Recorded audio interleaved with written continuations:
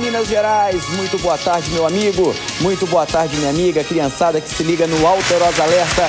Vocês estavam até agora há pouco com a turma do Alterosa Esporte, sempre muito divertida, não é isso? Brincando aqui com o meu topete, falando do meu cabelo.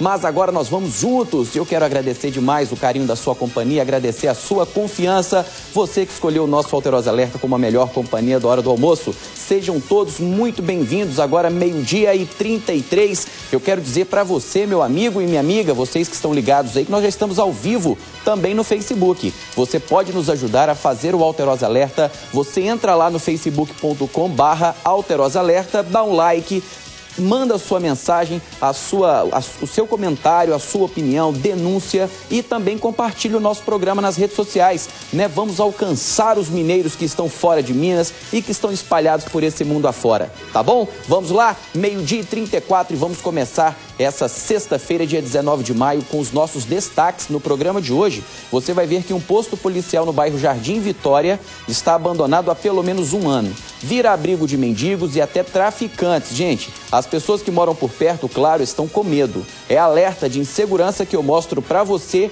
já já, hein? Esse imóvel todo abandonado. E você vai ver também que depois de ter sido citado nas investigações da Lava Jato, o presidente Michel Temer fez um pronunciamento e afirmou que não vai renunciar ao cargo.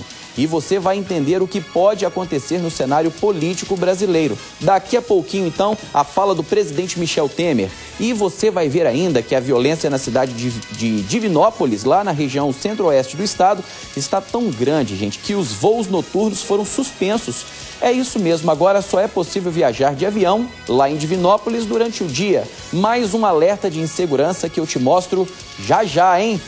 É, gente, é muita violência, né? Nós temos falado aqui, né, que a cidade de Divinópolis tem ocupado um espaço muito grande. Não é isso, Isabela? Aqui no nosso Alterosa Alerta, Divinópolis tem ocupado esse espaço aqui para trazer notícias de violência.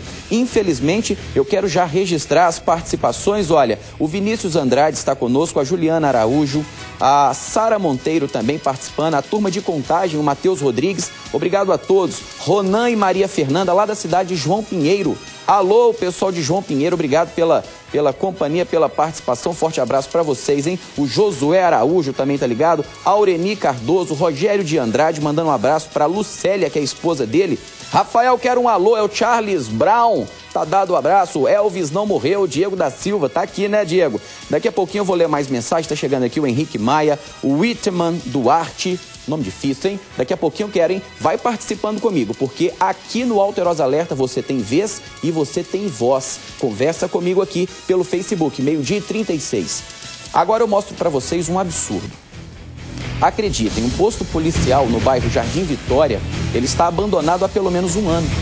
Segundo pessoas que moram na redondeza, o local é muito perigoso e por isso mesmo eles não entendem o porquê que a PM saiu de lá, né? O resultado, o lugar abriga mendigos e até usuários de drogas. Veja na reportagem de Etel Correia, alerta que eu coloco na sua tela. Nós estamos no bairro Jardim Vitória, limite entre Belo Horizonte e Sabará. Aqui um posto policial desativado é motivo de dor de cabeça para a comunidade. A gente está falando deste imóvel aqui. Olha, de acordo com a informação dos moradores, o imóvel, o prédio, foi construído e inaugurado há cerca de três anos. Chegou a funcionar algum tempo e hoje está totalmente abandonado. A indignação da população é um dinheiro gasto, que foi gasto aqui para isso estar desativado hoje e ter estar nesse estado. Isso é um perigo no local vazio assim para população. Local vazio, depredação, entendeu? abandono total. Entendeu? Isso foi dinheiro gasto nosso, investido nosso e não é aproveitado. Você pode ver que aqui roubaram tudo, saquearam tudo. A fiação de energia elétrica arrancada e até os equipamentos retirados daqui. Olha só, aqui ficava um blindex, ele foi totalmente quebrado, como a gente pode ver, e a estrutura totalmente desmontada. Lá dentro, o banheiro foi quebrado, janelas quebradas, não há mais nada no local. Informação de moradores que o local hoje tem sido frequentado por usuários de drogas. Aqui dentro também se escondem moradores de rua, sem abrigo, acham espaço aberto e acabam dormindo aqui dentro. Para os moradores, uma situação de risco. Onde um lugar que era para estar policial, tem morador de rua, tem drogados usando droga dentro de um posto policial, onde a gente pensava que nunca iria se ver. Algumas pessoas vêm aqui fazer transar. Aqui do lado de fora, além de muitos pedaços de cacos de vidro que representam risco para quem porventura entrar aqui, tem ainda um matagal Olha só, o mato cresce alto e aqui no meio há pedaços de garrafas, pedaços de embalagens que podem servir também de criadouros aí para o mosquito da dengue. Uma outra situação que preocupa os moradores. É você ver são descasos, garrafas jogadas, que pode chover, pode acumular água, você entendeu? E a falta de segurança, até mesmo para os moradores que moram aqui próximo, entendeu? Que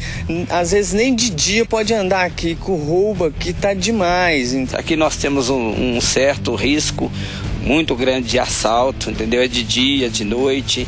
Aqui o pessoal não tá brincando, tá roubando carro demais, moto demais. Temos uma escola perto aqui, né? E na porta da escola, 24 horas, os caras fumando droga na porta da escola. Eu acho que isso é um descaso com a comunidade, com a população, porque quando você precisa de uma viatura, você chama uma viatura para resolver alguma coisa e é três horas para chegar uma viatura.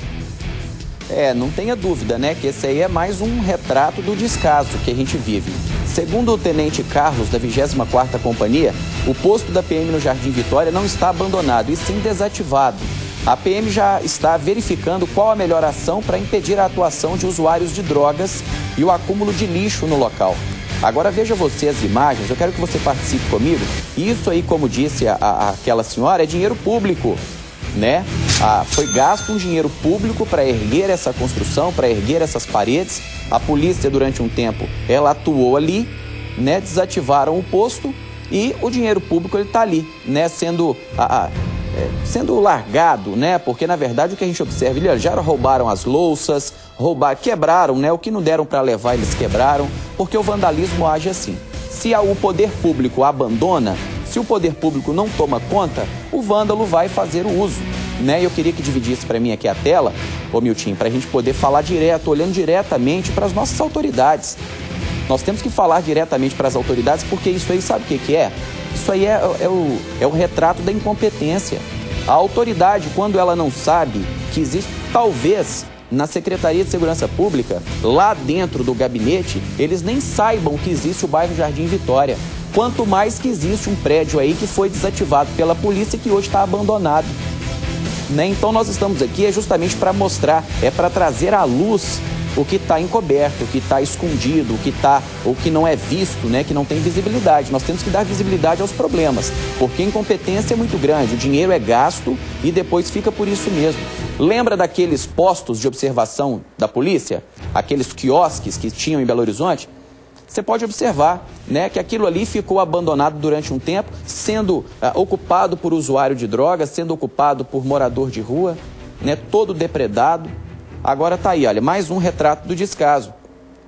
O secretário de Segurança tem que sair do gabinete, está dizendo aqui o Henrique, e tomar mais sol na cara. Eu concordo com você, viu, Henrique? Né? É preciso sair de dentro do conforto do ar-condicionado. É porque muita gente fica confortável dentro dos gabinetes, né? Debaixo do ar-condicionado, naquele carpete bonito, tomando café o dia inteiro e não conhece a realidade, porque não sai lá de dentro, não anda na cidade. O cara quer falar de cidade sem conhecer a cidade que ele vive. Tá aqui, ó, concordo com a sua opinião. Ah, o pessoal em Brasília de Minas está ligado aqui também, o Éder. Cadê o dinheiro? Francisco da Costa está perguntando. Ah, o Tiago Vieira, dinheiro do povo jogado no lixo. O Raimundo Salgueiro, ah, lá da Nova Pampulha, em Vespasiano. Estou com você, Rafael. Obrigado pela companhia. Ah, o Denilson está aqui também sugerindo. A Sara Monteiro, é isso aí, Rafael, tem que falar mesmo, né? Todos os dias em Barretos, o Silvio Ribeiro tá ligado aqui no Alterosa Alerta. Tá vendo como é que é legal a gente poder compartilhar o programa pelo Facebook? É isso aí, ó. Juliana Araújo virou moda construir para falar que tá fazendo, mas não colocam nada para funcionar. Porque tem esse detalhe também. Daqui a pouquinho eu vou ler mais participações, meio-dia e 43. Subir parede é muito fácil, né? Subir parede dá voto. Mas e colocar aquele órgão para funcionar? Muitas vezes a gente observa aí construção e mais construção. Construir o Hospital do Barreiro Você quer mais o quê? Construíram o Hospital do Barreiro que não funciona. O Hospital do Barreiro foi projetado para ter 400 leitos. 400 leitos equivalem ao que está fechado na Santa Casa. A Santa Casa, ela fechou 400 leitos. Por que, que ao invés de construir um novo prédio, para chamar de um novo hospital, não mantém os 400 leitos que foram fechados da Santa Casa funcionando? Aí começa a levantar prédio para lá e para cá e não funciona. Não é verdade? A, a, lógica é clara, a matemática ela tem que fechar. Por que, que ao invés de você erguer um novo hospital, você não mantém a Santa Casa no centro de Belo Horizonte funcionando mais 400 leitos, que é a capacidade do Barreiro? Mas é porque precisava, talvez, de buscar votos lá no Barreiro. Né? Então nós temos que parar com essa política de oportunismo, de subir parede para falar que está trabalhando, gente. Nós temos que trabalhar para para funcionar mesmo. Meio-dia e 44, eu quero saber a sua opinião. Meu amigo e minha amiga, eu quero que vocês mandem para mim. Coloca aí o nosso Facebook na sua tela para dar tempo de você anotar. É facebook.com/barra Alerta. Entra lá, manda sua mensagem que eu quero saber a sua opinião para dar a voz aqui a você, tá bom? Meio-dia e 44. Está preso o suspeito de assaltar vários ônibus em Betim, na Grande BH.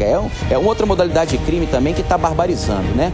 Em uma das ocorrências, ele chegou a trocar tiros com a Polícia Rodoviária Federal. Olha a ousadia desse vagabundo. Veja agora na reportagem de Wilson Gomes, alerta que eu trago na sua tela. O coletivo da linha Eldorado, Matheus Leme, segue o trajeto do dia. Um adolescente de 15 anos e outros dois homens entram no ônibus que seguia no sentido Betim. Minutos depois do embarque, Bruno Marques, de 22 anos, pula a roleta e anuncia o assalto. O comparsa de camisa azul, Antônio Pereira Júnior, de 20 anos, aborda o motorista.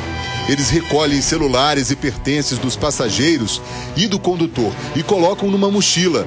Durante a ação, o motorista pisca o farol para uma viatura da PRF, que passa a seguir o coletivo. Bruno levanta a camisa e mostra uma arma ao motorista. O grupo desce do ônibus. O adolescente é abordado pelos policiais. Os outros dois conseguem fugir e trocam tiro com os agentes. O adolescente foi apreendido e os celulares recuperados. A Polícia Civil começou a caça aos foragidos que teriam cometido outros roubos. Bruno foi detido no bairro Guanabara, na casa da namorada. Diante essa extensa ficha criminal, ele até demorou para responder, mas não negou o crime. É isso mesmo, é isso mesmo. Quantos ônibus você chegou a assaltar? Sei não, sei não. Perdeu a conta? Que conta, senhor? O outro comparsa, que aparece nas imagens de camisa azul, também estava sob a mira dos investigadores. Mas antes que fosse preso, ele se envolveu em um outro assalto e foi morto. Ele praticou um roubo em Ribeirão das Neves.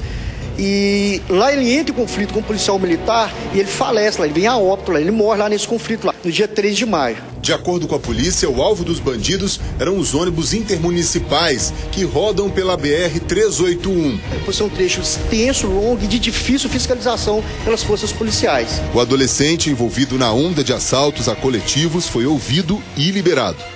Bruno, que segue detido, se irritou ao ser questionado sobre os tiros que ele teria dado contra os policiais. Eu não atirei em polícia nenhum, não. Vocês têm prova que eu atirei em polícia? O? Vocês têm prova? Prova que eu atirei. É só provar que eu atirei nos polícias então, ué.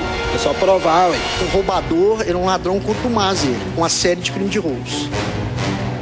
Tá aí, né? A fala do delegado é um bandido contumaz, reincidente.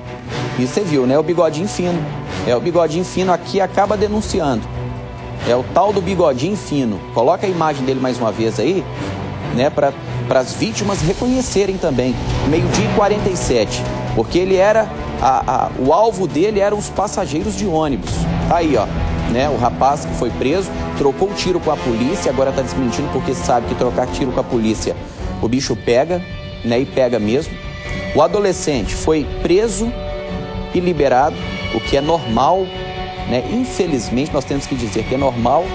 O adolescente ele é preso e liberado e o outro morreu, né? Morreu numa outra ação criminosa, acabou sendo morto, talvez até por bandidos rivais. Então, que esse exemplo aí, olha, sirva para a criançada, né, para a molecada que está nos assistindo aí agora. Você, meu, meu querido, né, a criança, adolescente, está acompanhando. É esse aí o futuro. O crime, o futuro no crime é esse: ou você vai ser preso, ou você vai acabar sendo assassinado. Então, olha, a, a, vamos pensar diferente, né? Vamos pensar diferente, vamos pensar em seguir um caminho diferente, sabe? Fazer um curso profissionalizante, vamos estudar, vamos investir na escola, né? Não tá legal não, a escola tá depredada, o professor às vezes, né, tem a greve, reclamam muito disso, não tem o material didático, mas vamos, gente, é o que nós temos. Nós temos que agarrar no que é do bem. Nós precisamos agarrar no que é do bem. Então, gente, vamos aproveitar essa oportunidade que nós temos. As crianças que estão nos assistindo aí, olha, tá aí, né? O mau exemplo é o que mostra para você, papai, mamãe também, orientar, né, o seu filho, a sua filha, que esse não é o caminho do bem. Vamos agarrar no que nós temos de melhor. Né, que são os bons conselhos dos nossos pais, da nossa família, tá bom? Para que a gente possa ter um futuro, futuro longo, né, um futuro melhor. Meio-dia e 48 minutos. Olha, uma estudante de 16 anos teria tido relação sexual com um colega do lado da escola. Um terceiro que assistiu a tudo gravou o vídeo e espalhou. O caso foi parar na delegacia. A Secretaria de Estado de Educação tomou conhecimento nesta manhã do fato ocorrido ontem nas proximidades da Escola Estadual Coronel Juca Pinto, localizada no bairro Universitário, envolvendo estudantes da unidade de ensino. Na manhã desta sexta-feira, a direção da escola foi procurada pela mãe da estudante, que fez a denúncia de abuso contra a filha por um rapaz, que é aluno do terceiro ano do ensino médio da escola e maior de idade. É que o ato foi filmado né, por outro adolescente que também é aluno da instituição. A, diretor, a diretora, gente, informou que a própria mãe da aluna acionou a polícia militar, que, de posse do vídeo com as imagens do ato, apreendeu o responsável. O incidente não ocorreu nas dependências da escola. Eita! Ferro, hein, só? Meio-dia e 49, tá aí, ó. Acabei de falar pra gente poder gastar o nosso tempo, gente, dentro da sala de aula, né? Aí vai para trás do muro da escola. Meio-dia e 50, eu quero agradecer aqui a sua companhia, quero agradecer a sua participação. Eu quero ler aqui mais participações que nós temos recebido aqui, olha. O Fábio Henrique, Aline Nascimento, Sabrina Silva, o Arley Amorim. Tô ligado aqui em Nova Lima. Um abraço para vocês de Nova Lima todo mundo participando, Raquel Marques, o Henrique, o Maurício Otávio, cadeia neles, Esmeraldas ligada. Manda um abraço para São João do Paraíso, no norte de Minas. Tá dado um abraço aí, viu meu amigo Beto Souza, o Pedro Tassi. Boa tarde, manda um abraço para mim, Pedro, segurança do Move. Não perca um alterosa alerta aqui em Lontra, Minas Gerais, vendo o melhor jornal de BH. Legal, obrigado pela, pela companhia. Ah, o Fernando Jesus, o Jaderson Lourenço, Tânia da sorveteria tá mandando um abraço. Alô, Tânia. Um beijo no seu coração lá em Sabará nos acompanhando. A Sara Monteiro está dizendo que escola não é lugar de fazer safadeza. O Cristiano Fernandes, Kesley Pires do bairro Padre Eustáquio, o Thierry Nicolas, mande um salve, tá dado. A Leslie Patrícia, Fábio Henrique, Transcap, André, manda um abraço aqui para Capim Branco, André Dontax. Beleza, daqui a pouquinho eu vou ler e registrar mais participações, hein? Meio-dia e 51. Uma das portas de entrada da nossa BH é a rodoviária. Aí a pessoa vem de outra cidade e assim que chega na capital, dá de cara com uma praça. Até aí tudo bem, beleza. O problema é que essa mesma praça virou um banheiro público.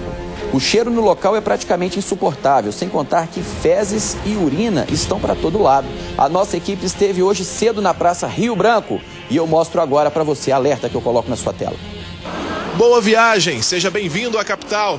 E será que a recepção logo na saída da rodoviária é acolhedora? Se depender do aroma no entorno, nem um pouco. Pede tudo, deixa tudo fedoreto.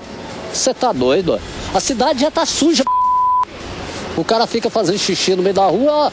Eu acho que o cara tem que tem um lugar certo de fazer, mas 50 centavos, vai lá dentro, paga 50 centavos e faz. Ainda bem que TV não tem cheiro. Agora imagine a situação de quem passa por aqui todos os dias. A pessoa sofre, viu? É horrível, ninguém aguenta isso não, é. É sempre assim aqui, né? Toda vida. Sempre quando eu venho aqui no centro, esse mau cheiro é horrível. Para entender, basta olhar para estas poças de urina na calçada. Igual eu que não sou daqui, sou do Nordeste. Primeira vez que cheguei aqui, o mau cheiro, mau cheiro um cheiro tanto. Coitado também do motorista que para no sinal. Isso aí acho que o poder público esclarece pra gente, né? Isso aí é, com certeza incomoda muito. É muita sujeira na região que é cheia de moradores de rua, que instalam barracas bem no meio da praça. Aqui tem até fogão e banheiro, pelo visto somente lá dentro da rodoviária, o que é pago. É uma pessoa de fora, sem grana, vai passar mal é de tirar o apetite, né, meu amigo? Né, a senhora que está aí agora almoçando, meio-dia 53, o senhor, né, vocês estão aí com prato de comida na mão, vendo o Alterosa Alerta, é de tirar o apetite. Mas é uma realidade. é uma realidade aqui em Belo Horizonte. E não é só na Praça da Rodoviária, não. Não é só ali na conhecida Praça da Rodoviária. Na Praça da Estação. A Praça da Estação, se você não andar olhando com o olho para o chão e o outro para frente, ou você tromba em alguém, ou você pisa no bosque. É porque é um cheiro de bosque danado lá na Praça da Estação. Você tá é doido. Olha aí, olha as condições, né? E não dá para, vai falar o quê, né? Ah, só se também colocar agora a gente vigiando ali 24 horas, porque olha a quantidade de morador de rua. Eu vi até a sugestão de um, de um, de um entrevistado ali dizendo, olha, mas por que, que não entra lá e paga 50 centavos? Rapaz, o cara tá pedindo esmola na rua, onde que ele vai arrumar 50 centavos para urinar, né, para poder fazer o número 2? Tem jeito, né? Vai fazer o quê? Aí é o que nós temos falado há, há muito tempo. A população de rua tem crescido. A população de rua tem crescido. E eu não vejo é, é, nenhum tipo de levantamento, cadastro. Eu não vejo, eu não estou vendo. E a gente tem cobrado, viu? Antes que falem aí, nós temos cobrado muito para que as nossas políticas sociais do município se voltem para os moradores de rua. Mas está ali, ó, né? Isso aí é a casa deles. Então, na sua casa, você faz o número um e o número dois. E ali ele se sente na casa dele, ele vai fazer aonde? Lamentável, mas essa é a realidade aqui em Belo Horizonte. Meio-dia e 54. A Polícia Rodoviária Federal apreendeu grande quantidade de maconha em Nova Lima. A droga foi encontrada em um caminhão. Alerta que eu coloco na sua tela. O veículo foi parado numa fiscalização de rotina no posto da Polícia Rodoviária Federal na BR-040 em Nova Lima, na região metropolitana. Segundo os policiais, os 300 quilos de maconha estavam escondidos no tanque do caminhão. O proprietário do veículo de 45 anos e o passageiro de 32, que são de Uberlândia, foram presos. O material que teria como destino o Rio de Janeiro foi levado para a superintendência da PRF. Tá aí. O presidente Michel Temer afirmou que não vai renunciar ao cargo. Ele fez um pronunciamento no Palácio do Planalto motivado pela delação premiada dos empresários Joesley e Wesley Batista, donos da JBS. Reportagem publicada no site do jornal O Globo, quarta-feira, informou que Joesley entregou ao Ministério Público uma gravação de conversa na qual ele e Temer falam sobre a compra do silêncio do deputado caçado Eduardo Cunha, preso na Operação Lava Jato. Acompanhe agora comigo um trecho do pronunciamento. Não comprei o silêncio de ninguém, por uma razão singelíssima, exata e precisamente porque não temos nenhuma delação. Não preciso de cargo público, nem de foro especial. Nada tenho a esconder. Sempre honrei meu nome. Na universidade, na vida pública, na vida profissional, nos meus escritos, nos meus trabalhos. E nunca autorizei por isso mesmo que utilizasse o meu nome indevidamente. E por isso, quero registrar enfaticamente a investigação pedida pelo Supremo Tribunal Federal será território onde surgirão todas as explicações. E no Supremo demonstrarei não ter nenhum envolvimento com esses fatos. Não renunciarei. Repito, não renunciarei. Sei o que fiz e sei da correção dos meus atos. Exijo investigação plena e muito rápida para os esclarecimentos ao povo brasileiro. Agora eu mostro para você uma matéria da repórter do SBT Simone Queiroz que explica o que pode acontecer com o cenário político brasileiro nos próximos dias. E agora? O turbilhão de informações das últimas 24 horas abre novas possibilidades de caminhos políticos para o Brasil. Mesmo juristas que antes estiveram em lados opostos, agora defendem teses parecidas. Se é, o Michel Temer tiver grandeza, é o momento da renúncia. A melhor coisa para o país seria a renúncia. Miguel Reale Júnior e Dalmo Dalari, que divergiram sobre o impeachment da presidente Dilma Rousseff, hoje perplexos, concordaram que Temer perdeu as condições de governabilidade. É a opinião também do ex-presidente Fernando Henrique Cardoso, que se manifestou nas redes sociais. Já o jurista Ives Gandra Martins acha que a saída de Michel Temer seria a pior opção para o Brasil. Seria ruim para o Brasil no momento em que nós damos sinais, inflação caiu, recuperação econômica, começa a ver o reemprego. Mesmo Mesmo sem renúncia, Temer ainda pode perder o cargo por três vias. Uma delas é o impeachment. Nesse caso, a Constituição determina que assuma o presidente da Câmara, Rodrigo Maia. Se impedido, o presidente do Senado, Eunício Oliveira, e, por último, a presidente do Supremo Tribunal Federal, ministra Carmen Lúcia. A partir daí, a Câmara tem 30 dias para convocar eleição indireta, ou seja, apenas deputados e senadores votam nos candidatos. E quem pode concorrer?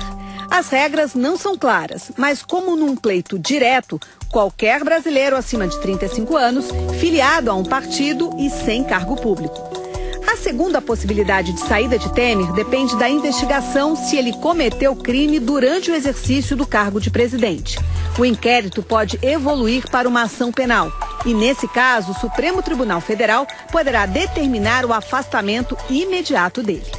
A terceira possibilidade é a cassação da chapa pela qual Temer concorreu com Dilma em 2014. O julgamento começa no dia 6 de junho, no Tribunal Superior Eleitoral. Se a chapa for cassada, o TSE vai indicar se a sucessão será por eleição indireta ou direta. Para os casos de afastamento por impeachment e ação penal, uma eleição direta só seria possível com uma emenda constitucional. E ela já está no Congresso desde o ano passado. O deputado Miro Teixeira, autor da PEC, afirma que ela pode começar a tramitar na semana que vem. Este é o tipo de, de iniciativa que ganha perna na hora da crise e anda sozinho, porque a rua empurra. Não passa mais na cabeça das pessoas ter um presidente da República eleito pelo voto indireto.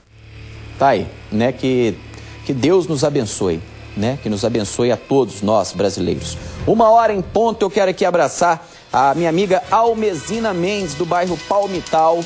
Ela é fã número um. Muito obrigado, viu, Almezina, pelo seu carinho. Agradecer também aqui a minha amiga Michele e todos os moradores da Vila São Francisco, lá no bairro Carlos Pratos. Um abraço para vocês. Estão ligadinhos aqui conosco e muitas participações em nosso Facebook. Eu quero agradecer e pedir para você continuar participando. Vai mandando mensagem, olha.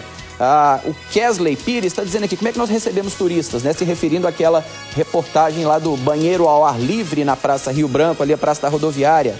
O Henrique fala, meu Deus, aquilo lá é punk. O Wallace tá ligado, o José Augusto, José Augusto acompanhando, o Fábio Henrique, o Cristiano Fernandes, Jaderson Lourenço, Fernando Jesus. Eita, Anjo das Sombras. E o frio, hein? Tá fazendo frio em Belo Horizonte, né? Hoje de manhã fez 27 graus, hein? Cidade tava bem fria. Tô cansada de tanta safadeza. É a Aline falando aqui. Esse seu cabelo tá feio. É o Isaías Grajaú. Ô, Isaías, meu filho, faz comigo não. Eu gosto tanto dele. Ficou bom hoje, não? Aí eu tentei até baixar um tiquinho tupete para poder melhorar um cadinho. Uma hora e um minuto. Acerte seu relógio aí, hein? Não perca a hora. É sexta-feira, 19 de maio. E eu vou colocar na sua tela aí para você participar comigo. Olha, você pode participar por vários canais das nossas redes sociais, hein? Coloca aí para mim, Miltinho. Alterosa Alerta no Facebook, no Instagram, no Twitter, no YouTube e também no nosso Zap Zap. Anota tudo aí, meu amigo. Participe conosco, eu vou por um rápido intervalo. É rápido mesmo e na volta nós vamos integrar todo o estado de Minas aqui no nosso Alterosa Alerta. Até já.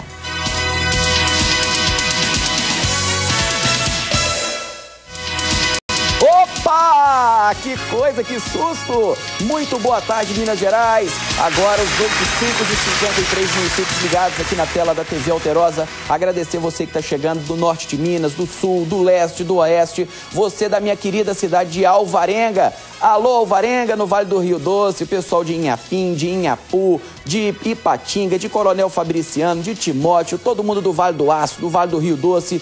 Todos vocês ligados aqui na TV Alterosa, muito obrigado pelo carinho da companhia, muito obrigado pela audiência e por você escolher o nosso Alterosa Alerta como a sua melhor companhia da hora do almoço. Ó, você que tá aí, ó, pratinho de comida na mão, acompanhando as principais notícias. O que é notícia aqui em Minas, você vê na tela da TV Alterosa, no seu Alterosa Alerta, hein? Uma hora e quatro minutos, uma hora e quatro. Eu quero agradecer também a participação dos nossos amigos que estão aqui conosco ao vivo.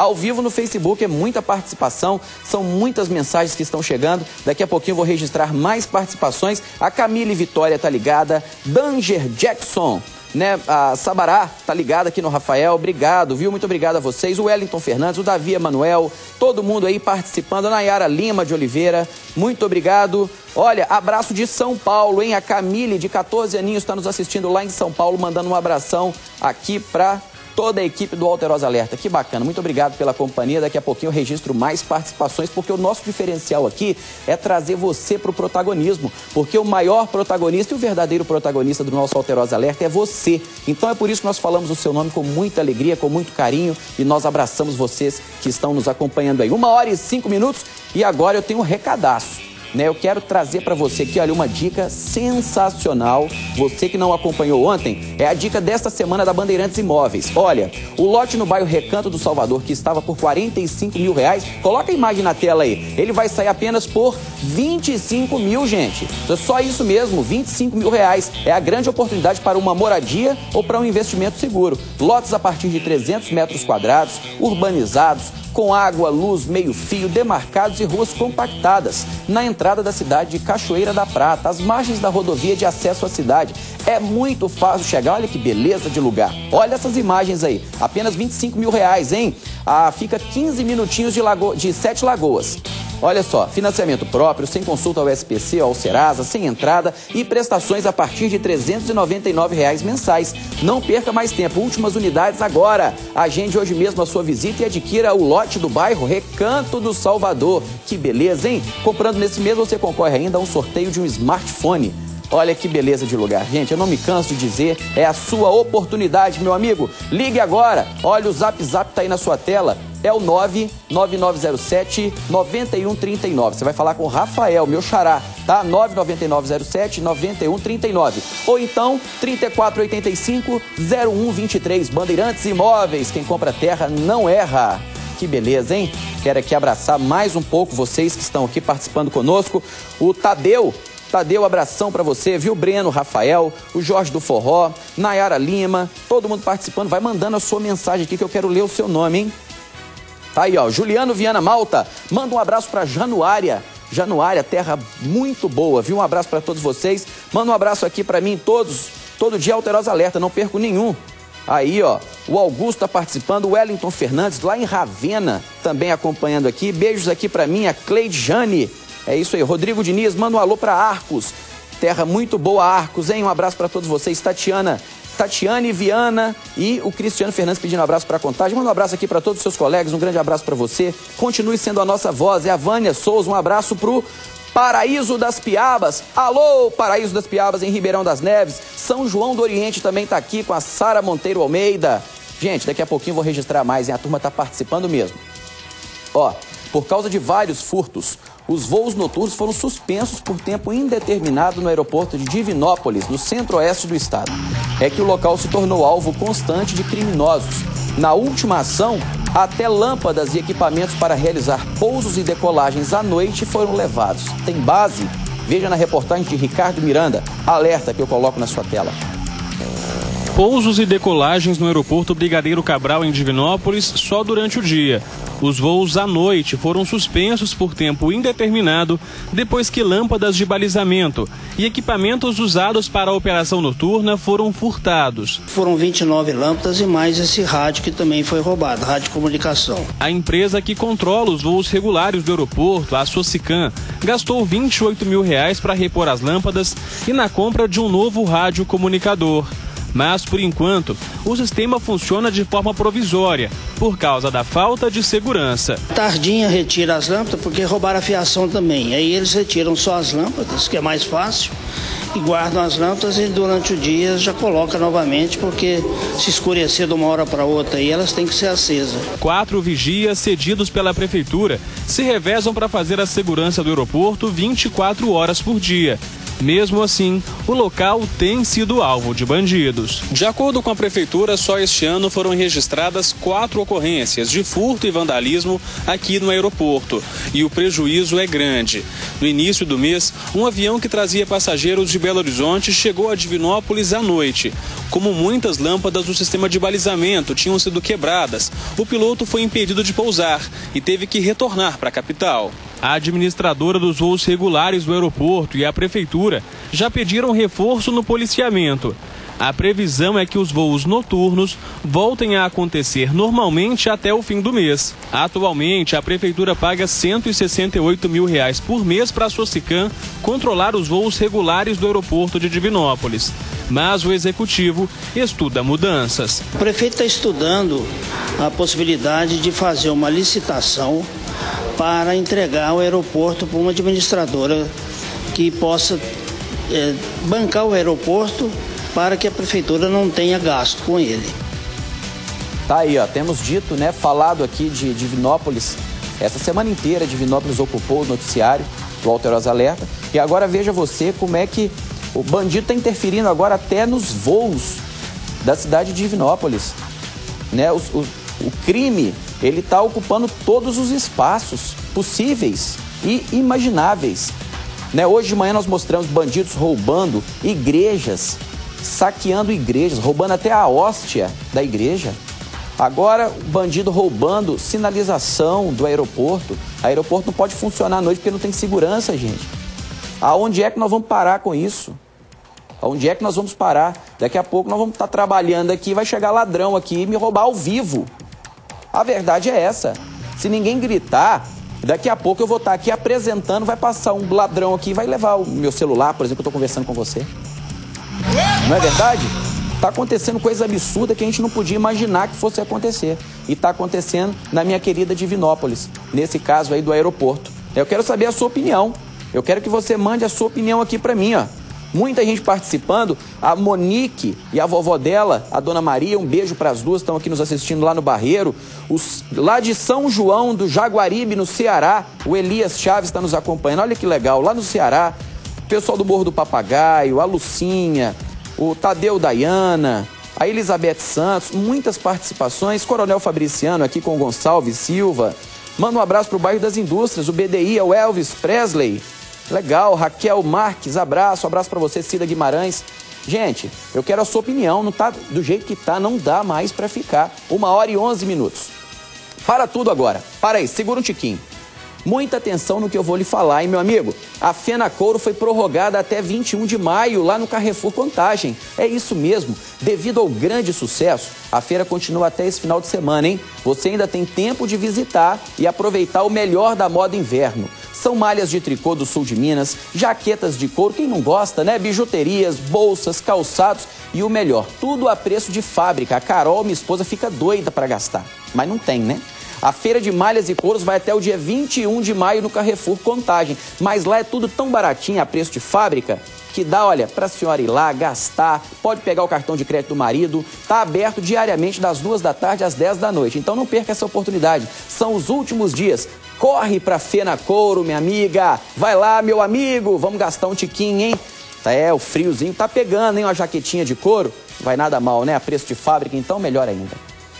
Na reportagem especial dessa semana do Alterosa Alerta, da Otton de Carvalho, nós vamos te mostrar com, como gestos simples, né, que com gestos simples você pode ficar livre dos pequenos vazamentos que trazem vários problemas. Essa eu quero ver porque eu preciso aprender, gente. Além do desperdício de água e aumento da conta. Alerta que eu coloco na sua tela.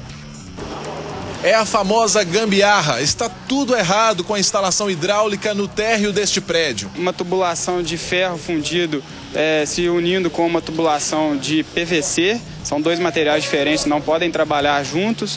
É, uma tubulação que está totalmente solta, sem as presilhas adequadas, totalmente exposta ao tempo e uma, além de uma tubulação de esgoto que não está canalizada. Foi passado um cabo de instalações elétricas juntamente com a hidráulica sem separação nenhuma. As consequências não são nada boas. Principalmente com vazamentos, é, o tubo pode furar algum tubo. O bom exemplo vem do sexto andar. Aqui sim está tudo novo e dentro do padrão. Os tubos têm a caída ideal para o esgoto. É, os tubos estão fixados com uma fita perfurada, todos presos além da, das, das conexões serem feitas com o anel de vedação. Um detalhe importante nesse processo é a mão de obra qualificada. Em muitos casos, o pedreiro acaba fazendo o trabalho que na verdade é do bombeiro. A pessoa que contrata até tem a sensação, num primeiro momento, que está tudo correto com a instalação hidráulica, mas pouco tempo depois o morador vai ter dor de cabeça, principalmente com os vazamentos. Não adianta trabalhar com, com um material bom, né, de boa qualidade e o bombeiro não ser qualificado. Então o que, que vai acontecer? Vai dar vazamento, vai dar re, é, retrabalho, vai ter que refazer a tubulação, quebrar. Então nós trabalhamos com material bom e com o profissional adequado. A escolha dos produtos também precisa ser criteriosa. Alguns mais modernos suportam frio e calor, outros não. Esse aqui é de CPVC. CPVC tem um encaixe perfeito, aguenta água quente, água fria e não dá tanta manutenção. Fica muito mais fácil de você trabalhar hoje, o caso do CPVC. O vendedor explica que é muito importante verificar detalhes, principalmente no encaixe. Tem as peças mais baratas, só que é aquele barato que sai caro. Às vezes o custo de uma, da hidráulica em uma obra é 2% só. As pessoas economizam de uma maneira insignificante um pouquinho onde o barato sai caro, entendeu? E, e o hidráulico existe grandes marcas onde você pode comprar sem medo de, de, de fazer uma boa conexão. E o principal, né? Uma pessoa que saiba trabalhar direitinho com a, com a conexão, que às vezes a, o, o barato sai caro, né? Exija, quando for comprar, pergunta para o seu fornecedor, a conexão é classe A? Compra classe A, que o classe B geralmente ela é, ela não tem encaixe 100% perfeito. Legal, né? Bem esclarecedora a reportagem. Parabéns ao Rangel Faula, né? Pela, pela reportagem. Parabéns a Otton de Carvalho, que tem feito um trabalho também muito bacana. Agora isso aí serve para os marinheiros de primeira viagem, né? Eu casei tem pouco tempo, tô aprendendo a mexer ainda com as, as instalações de casa, é bom, né? Esse tipo de reportagem esclarece bem a gente. Abraçar aqui, tá todo mundo perguntando cadê o Stanley? Ô, ô Isabela, eu falo ou não falo? o Stanley, gente, ele tá dando uma descansada, viu? Ele resolveu dar uma descansadinha aí nessa sexta-feira, esse final de semana. E na segunda-feira, ele tá firme e forte aqui. É, ele tá se recuperando de uma cirurgiazinha que ele fez, né? E já já ele tá bem, tá, tá, tá de volta, né? Bem ele já tá. Né, ele tá só curtindo um descanso e na segunda-feira ele tá de volta, tá? Só esclarecendo aqui, porque você faz falta, doutor Stanley. Todo mundo aqui quer saber cadê o doutor Stanley aqui, ó. O Daniel quer saber, a, a, a Eliane quer saber, todo mundo aqui. Quer ver? Deixa eu mandar um abraço aqui para duas o Rômulo, lá do Uber, do bairro São Salvador, está aqui nos assistindo. A Gabi e a Laura são duas pequenas que não perdem o Alterosa Alerta, filhas da Juliana Araújo. E Stanley Guzmán, Evane Medeiros, cadê você? Stanley está aqui de volta segunda-feira, viu? Stanley, você é muito querido, tá? Você é muito querido, meu, meu, meu lindo, meu chefe, né? Meu, meu querido chefe. Segunda-feira está de volta. Uma hora e 17 minutos, uma hora e 17. Vamos seguir com o nosso Alterosa Alerta. Agora, olha só que absurdo. O empresário do goleiro Bruno, essa história é complicada, hein? Ele é suspeito de matar o enteado na tarde desta quinta-feira. O crime aconteceu na casa da vítima, em Matozinhos, na região metropolitana de Belo Horizonte. Alerta que eu coloco na sua tela. O crime aconteceu na última tarde em Matozinhos, na região metropolitana de Belo Horizonte. O principal suspeito para o crime é Lúcio Mauro de Melo Rodrigues, o empresário do goleiro Bruno. De acordo com a Polícia Militar, o assassinato teria sido motivado por uma discussão familiar, após o enteado agredir a própria mulher com chutes. A polícia segue em patrulhamento para localizar o suspeito. A Polícia Civil segue investigando o caso. Olha isso aí, hein? O suspeito, gente, o Lúcio Mauro de Melo Rodrigues, ainda não é, se entregou e também não foi localizado. Ele está sendo procurado pela polícia. Mas que história, hein? Que história. Empresário do goleiro Bruno. Olha essa ligação. Que coisa perigosa, né? Uma hora e 18 minutos. Vamos aqui mandar um recado para ele, para ele se entregar, né? Se entregue que é melhor, vá lá se explicar na polícia. Vamos lá? Dois funcionários de um supermercado foram assaltados no meio da rua, lá em Varginha. Eles foram rendidos por um homem com uma faca que sabia que eles transportavam 6 mil reais até uma agência bancária. Tá difícil sair na rua agora, né, minerada? Alerta que eu coloco na sua tela. Segundo a Polícia Militar, os dois funcionários passavam a pé pelo calçadão quando foram abordados por um homem que estava armado com uma faca. Dois, dois funcionários do supermercado estavam levando a quantia de dinheiro à agência bancária eles foram surpreendidos próximo ao calçadão por um indivíduo. Esse indivíduo falou que sabia o que, que eles estavam levando né, dentro da pochete e queria só pegar a pochete. Ele pegou a pochete, de posse de uma faca ele cortou a pochete, tirou o que havia dentro e evadiu. O bandido ainda não foi identificado. Provavelmente ele sabia a rotina. Ele foi direto no, no, no funcionário, já foi direto perguntando sobre a pochete. A Polícia Militar recomenda que as pessoas que fazem esse tipo de transporte de valores devem mudar a rotina com frequência. Fazer mudança na rotina, não fazer sempre o mesmo, o mesmo itinerário, né? Se possível, mudar qual funcionário faz esse serviço, né?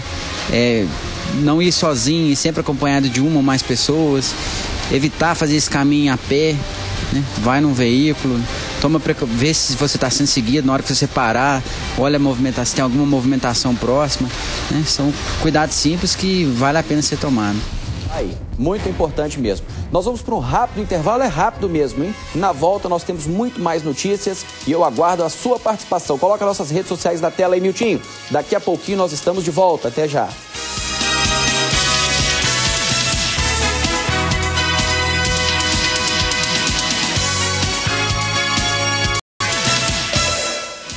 Legal, legal, estamos de volta. Olha, para trazer para você essa notícia, você gosta de assistir TV, certo? E a imagem de qualidade é fundamental, concorda? Por isso as antenas são tão importantes. Na hora de instalar uma antena é preciso seguir algumas orientações e, claro, tem muito cuidado, né? Ter muito cuidado para evitar qualquer tipo de acidentes. A nossa equipe vai te dar agora algumas dicas. Alerta que eu coloco na sua tela.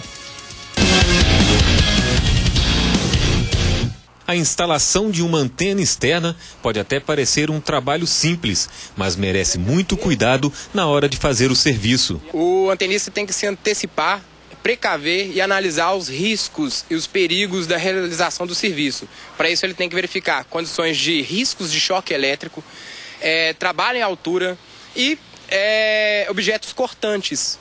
Bom, nós temos aqui os equipamentos de proteção individual, luva, óculos de proteção, capacete e cinto de segurança. Apesar dos perigos, ainda tem gente que se arrisca no telhado. Eu acho que a pessoa que sobe no telhado para fazer a instalação, ela não tem ciência dos riscos, a não ser que aconteça com ela. Ela também não sabe o perigo que ela pode correr, ela só pensa em fazer a instalação e acabou. É necessário contratar um profissional antenista que recebe um curso, um treinamento para dar qualificação e habilitação para ele exercer a profissão com excelente qualidade. Muita gente pode não saber, mas existe até um local ideal para fazer a instalação. E tentar ao máximo instalar a antena é, distante da, da energia elétrica para não ter nenhuma interferência nem a proximidade de colisão, contato direto.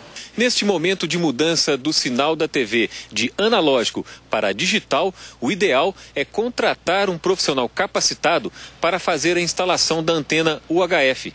Dessa forma, você garante a segurança e a melhor qualidade de sinal possível. Meu pai e minha mãe contrataram o antenista para fazer a instalação do sinal digital lá em casa. O usuário deve perceber qual tipo de televisor que ele tem. Se ele é um televisor que tem um conversor embutido ou é necessário comprar um externo, né? E os procedimentos são adequar a antena e fazer o cabeamento com qualidade. Bacana, né? Legal. Boa dica. O programa hoje teve né, cheio de dicas legais, né? Bacana, viu? Eu quero agradecer, olha, estamos chegando ao finalzinho do nosso Alterosa Alerta, aproveitar esse minutinho para agradecer muito a sua companhia ao longo de toda a semana. Você que esteve conosco, né, na primeira edição às sete da manhã, agora depois do Alterosa Esporte. Muito obrigado pelo seu carinho, muito obrigado pela sua audiência, muito obrigado pelas centenas, milhares de participações ao longo dessa semana. Faz toda a diferença para nós. Muito obrigado você de cada parte do estado. Eu quero reforçar aqui o nosso compromisso. Segunda-feira estaremos juntos aqui, doutor Stanley, à frente do nosso Alterosa Alerta e toda a nossa equipe trabalhando para trazer para você o que é notícia aqui em Minas Gerais. Tá bom? Eu quero só desejar então um excelente final de semana para todo mundo. Fiquem todos com Deus. Aproveitem bem. Aproveitem o sábado, aproveitem o domingo, curtam a família, Deus no coração, muita paz. E segunda-feira nós estaremos de volta. Gente, um beijo no coração. Tchau para todo mundo.